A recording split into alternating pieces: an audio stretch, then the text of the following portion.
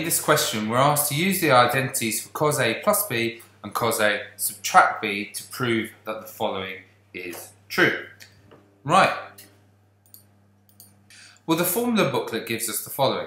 The formula booklet tells us that um, cosine of A add B is the following. It's cosine A, cosine B, subtract sine A, sine of B. And similarly, it tells us that cosine of A subtract B is going to equal cosine A, cosine B, add sine A, sine B.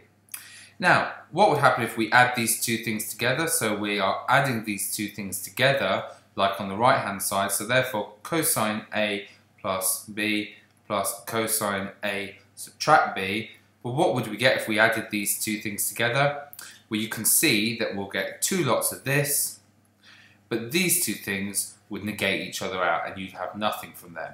So you'd have 2 cosine A cosine B, which is equal to the right hand side. Sorry, the, the left hand side.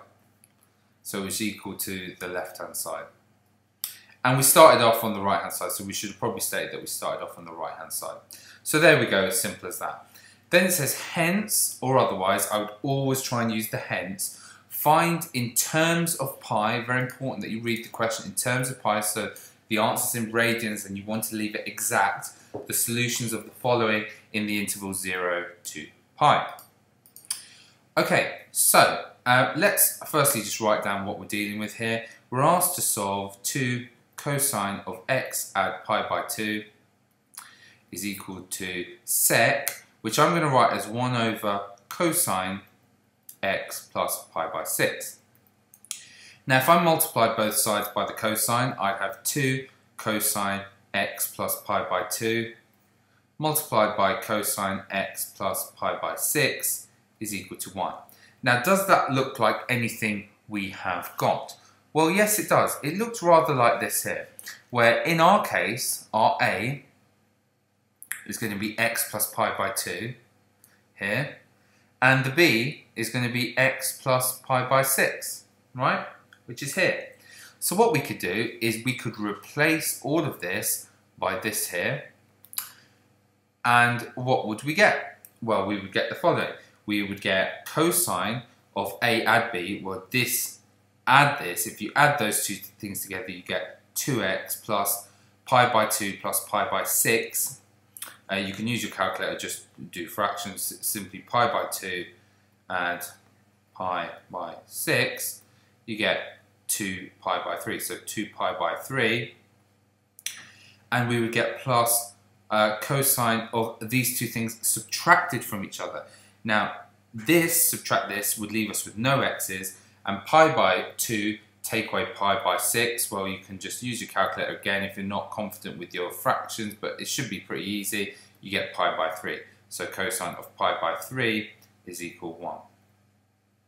Now cosine of pi by 3 is something we should know.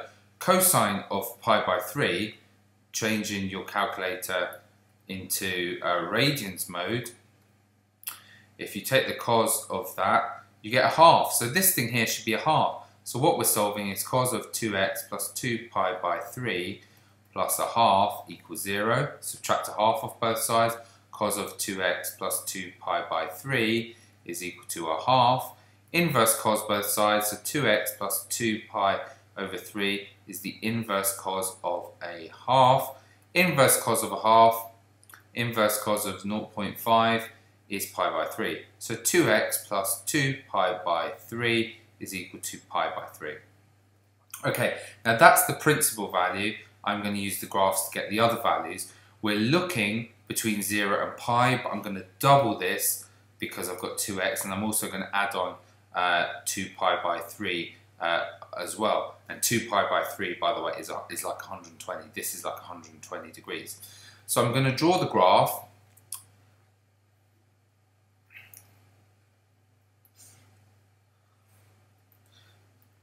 starting up here, so it's to, that would be between 0 and 360. And I'm also going to go on, on another 90, and I'm going to go on another 90 here. So this here would be 90, 180, 270, 360, 450, and 540. Now I found that pi by 3 is one answer and pi by 3 is here, it's 60 degrees. Where are the other answers? Well, the other answers would be one here and one here. So the other answers, that's 60 degrees from the top, so it'd be 60 degrees back from here, so it'd be at 300. Or sorry, it would be, in terms of pi, it would be 2 pi, take away the pi by 3, and also be 2 pi plus the pi by 3. Okay, I should have these in terms of pi. That would be pi by 2, pi, 3 pi by 2, 2 pi, um, and 5 pi by 2. Okay, like that. So they are the uh, potential answers. So I'm just going to get rid of this for now. I'm going to subtract the 2 pi by 3 off everything and divide uh, by 2. Now clearly subtracting the 2 pi by 3 off here will give me no answer, so I can ignore this one because it will be outside my range. What about this one? So we've got 2 pi subtract pi by 3, like that. Then we're going to take off 2